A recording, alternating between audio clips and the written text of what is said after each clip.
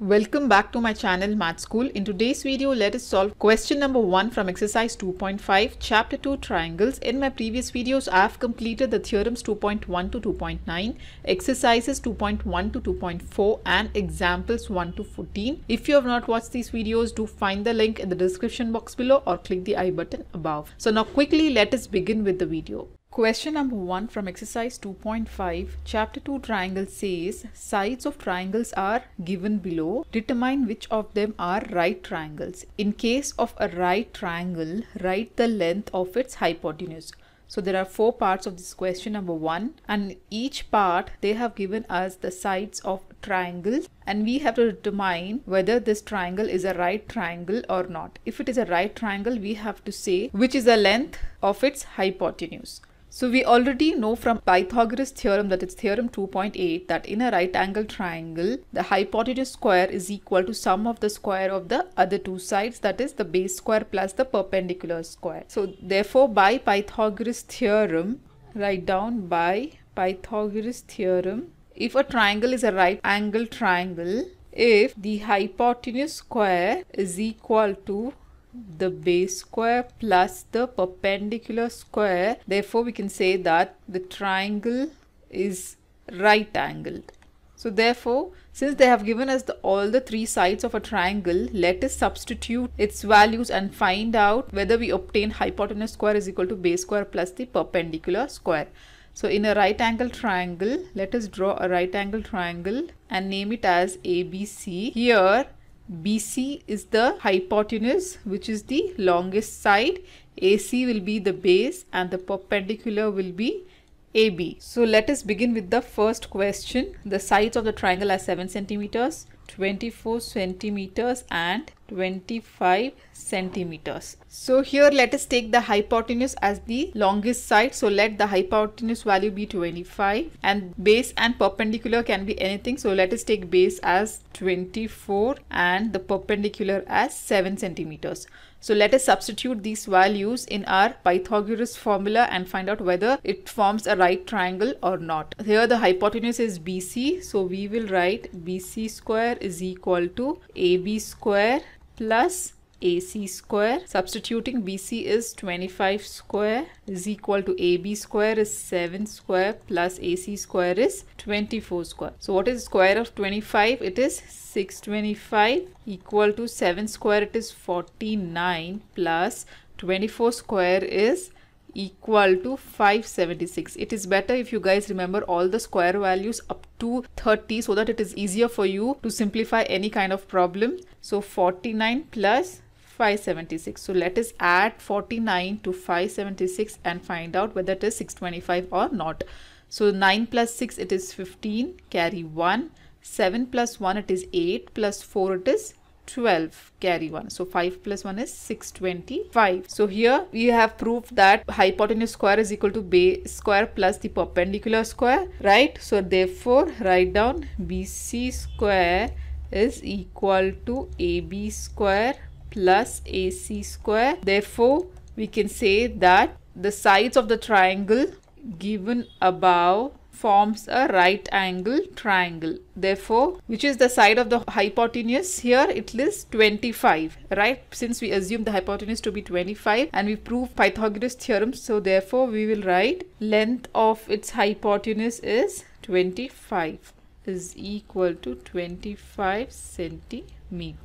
So similarly, let us substitute other three parts of the question. In part 2, they have given us the sides as 3 centimeters, 8 centimeters and 6 centimeters. So again here the longest side is 8 centimeters. So let us consider it to be the hypotenuse. We'll take hypotenuse as 8 centimeters. We'll take base as the 6 centimeters and perpendicular to be 3 centimeters. So let us substitute as BC square that is the hypotenuse square is equal to AB square plus AC square. Okay, so BC square is 8 square is equal to AB square is 3 square plus AC square is 6 square. So 8 8s are 64 and that is equal to 3 3s are 9 plus 6 6 are 36 so what is 36 plus 9 so 9 plus 6 is again 15 carry 1 3 plus 1 it will be 4 so it is 45 which is not equal to 64 right so therefore we can write down BC square that is the hypotenuse square is not equal to sum of the square of the other two sides that is AB square plus AC square. Therefore, it does not form a right angle triangle. Therefore, the sides of triangle given above does not form a right triangle. Okay. So, therefore, we cannot determine the length of hypotenuse since it is not a right triangle. So, similarly, let us solve the third part of the question. So now let us solve the third part of the question where we, they have given us the sides as 50 centimeters, 80 centimeters and 100 centimeters. So here the longest side is 100 centimeters. So let us take it as hypotenuse. Hypotenuse is equal to 100 centimeters.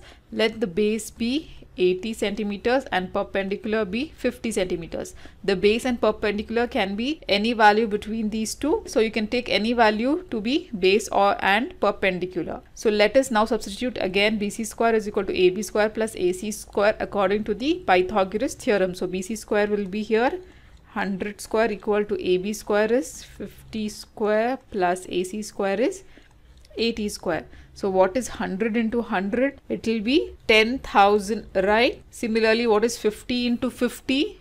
So 50 into 50, we have two zeros. So we will write two zeros here and 5 5s are 25. So it is 2500 plus what is 80 square? Again 80 into 80 will be two zeros will come here. 8 8s are 64. Okay, that is 6400. So let us add this uh, 2500 plus 6400. So 0 plus 0 is 0.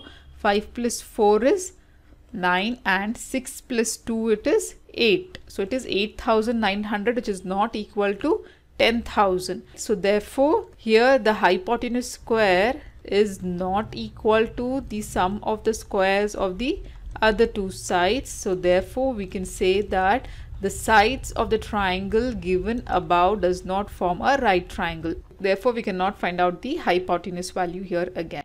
The fourth part of the question they have given us the sides as 13 centimeters, 12 centimeters and 5 centimeters. So here the longest side is 13 centimeters. Let us assume it to be the hypotenuse. Okay, 13 then base will be 12 and the perpendicular will be 5 centimeters. So let us substitute in the Pythagoras theorem which is 13 square is equal to the base square plus the perpendicular square. So we will get what is 13 into 13 as 169. So here 13 square is 169, 12 square is 144 so here it is. Perpendicular square is 5 squares and 5 square is 25 right. So therefore 13 square is 169 12 square is 144 plus 5 square is 25 so let us add 144 plus 25 and see 5 plus 4 is 9 4 plus 2 is 6 and 1 so we got 169 is equal to 169 so the right hand side is equal to the left hand side. So therefore we can say that the value BC square is equal to AB square plus AC square. Okay which satisfies the Pythagoras theorem. Therefore the sides of triangle given above forms a right triangle.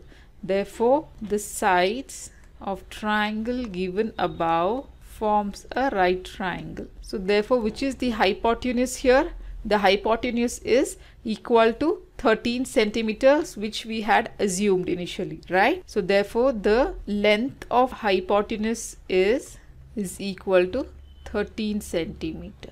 So this is how we solve this question number one. If you have any further doubts do comment me below in the comment section in my next video, I'll be solving question number 2 from exercise 2.5 chapter 2 triangles. So till then do like my video, subscribe to my channel and don't forget to hit the bell button below to get the latest updates of my videos as I'll be completing the whole syllabus for class 10th SSLC and CERT math and also do watch the related videos of chapter 2 triangles shown on the screen. Thank you.